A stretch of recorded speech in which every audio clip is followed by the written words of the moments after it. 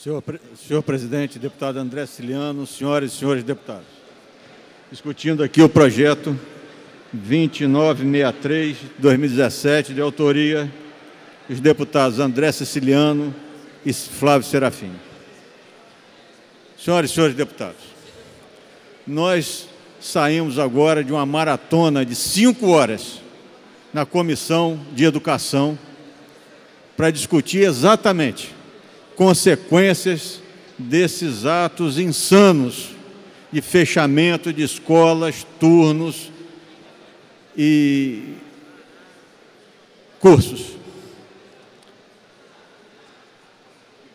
Nós temos que analisar bem, senhoras e senhores deputados.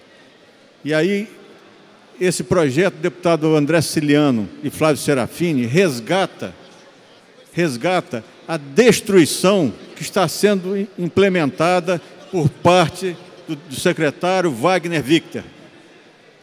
A destruição da educação pública no Rio de Janeiro. Lá, naquela audiência, eu fui o primeiro a falar. E optei por não fazer uma fala contundente. Optei, podendo com isso, pensando que com isso pudesse abrir margem para o diálogo com o secretário Wagner Victor. Optei, e quem estava lá é testemunha disso, optei por não fazer uma fala contundente. No entanto, depois de cinco horas de audiência pública, vimos claramente que o senhor Wagner Victor está empenhado em destruir, destruir a escola pública tal como ela é hoje tal como ela está organizada. E precisamos analisar, senhoras e senhores deputados, as consequências do fechamento de escolas, turnos e cursos. Nós precisamos analisar que a escola pública não pode ser gerenciada com o objetivo de economia, pura e simplesmente. Porque se, não, se assim fizermos, nós vamos estar tirando a oportunidade tirando a oportunidade daqueles estudantes terem uma educação pública de qualidade. Mas também vamos estar tirando dos professores a dignidade no exercício da sua profissão. Analisando, quando se tira, se termina com o curso, nós estamos colocando professores em excedência. E o que é que o secretário faz? O que, é que o secretário faz através da sua equipe? Olha, você se habilite em outra disciplina, senão você vai ser transferido dessa escola.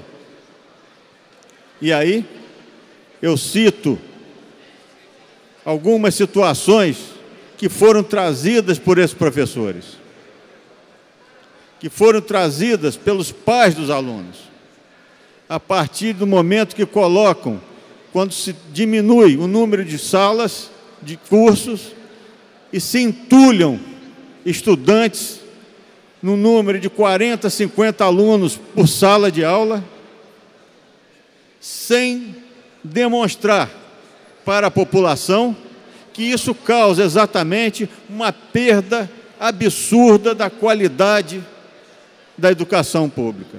Não podemos admitir que salas de aulas com 50 alunos, num calorão danado.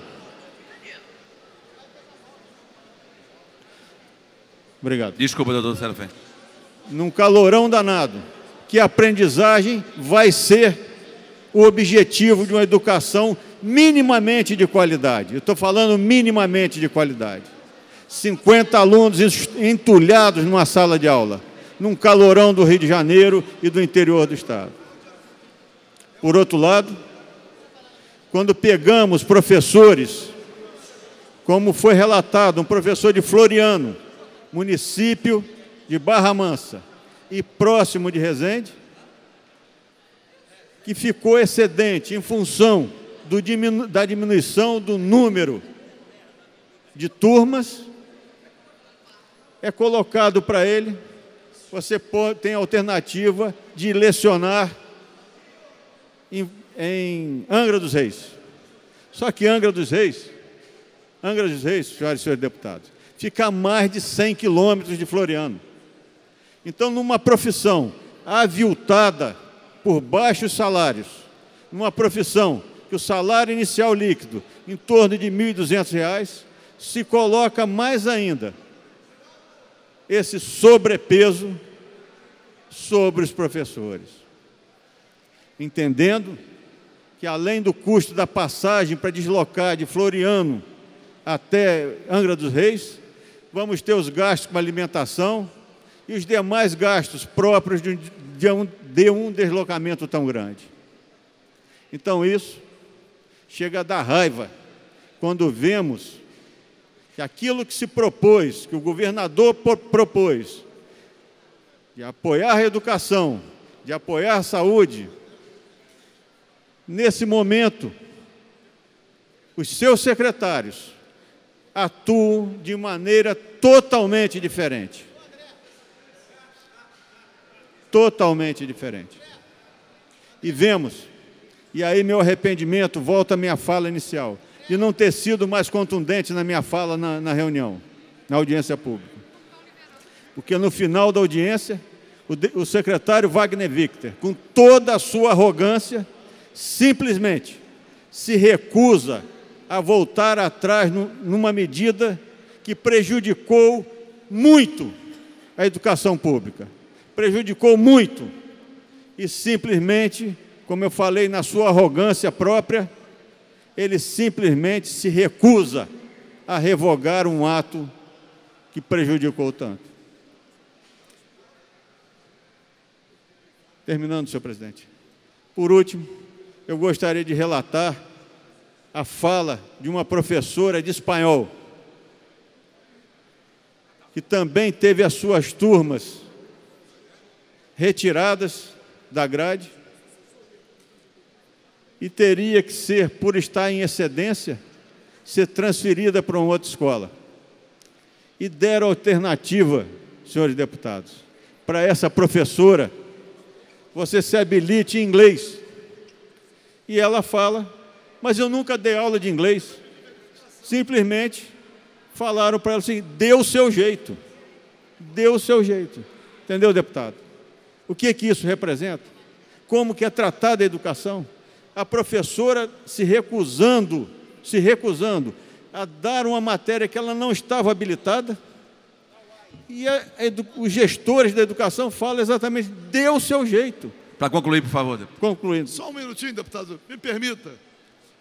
Tendo em vista esse, essa espécie de assédio, esse absurdo que vem sendo perpetrado na Secretaria de Estado de Educação, eu já ingressei com uma representação no Ministério Público, porque isto é uma ilegalidade. O secretário de Educação não pode impor a um professor ministrar aulas de matérias em relação às quais ele, às quais ele não tem a licenciatura. Isto é uma ilegalidade, encaminhei ao Ministério Público. Parabéns, deputado. Termina aqui minha fala.